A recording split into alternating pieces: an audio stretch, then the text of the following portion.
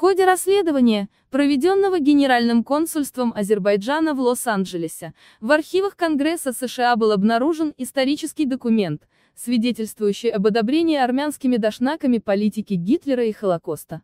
4 мая 1945 года, член Палаты представителей США от штата Мичиган, конгрессмен Фрэнк Хук представил на пленарном заседании Конгресса статью о симпатиях армянских дашнаков к Гитлеру одобрении ими Холокоста, а также о терактах, совершенных ими на территории США. Эта статья была включена в регистрационную книгу Конгресса США и опубликована правительством.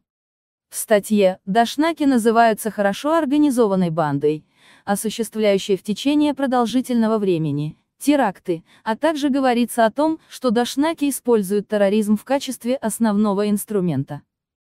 В статье отмечается, что также дашнаками в США были совершены террористические акты против армян, которые отказывались жертвовать средства для партии Дашнакцутюн и не разделяли ее радикальной идеологии. В качестве примера приводится факт убийства террористами-дашнаками в 1933 году главы армянской церкви в США архиепископа Леона Турияна во время рождественской мессы в церкви в Нью-Йорке.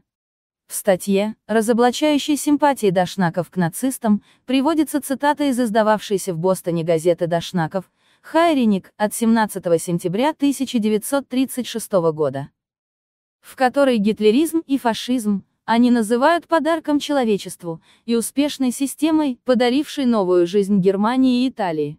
А в августовском номере от 1936 года газеты «Хайреник» приводится цитата, открыто демонстрирующая поддержку Холокоста.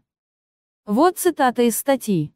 Иногда бывает трудно искоренить эти ядовитые элементы, когда они уже пустили глубокие корни, как хроническая болезнь. Попытки уничтожения этих элементов считаются революционным достижением. Вот так Дашнаки писали про евреев. В документе также упоминается служивший нацистом Горигин Жде. Подчеркивается, что он является основателем идеологии цехокранизма и распространял ее в основном среди молодых армян, а также пропагандировал расистские идеи Гитлера. Данное обращение было опубликовано в номере еженедельника «Хайреник» от 11 января 1935 года. Генконсульство отмечает, что основная армянская лоббистская организация, которая действует против Азербайджана в США, это Армянский национальный комитет Америки, является дашнакской организацией.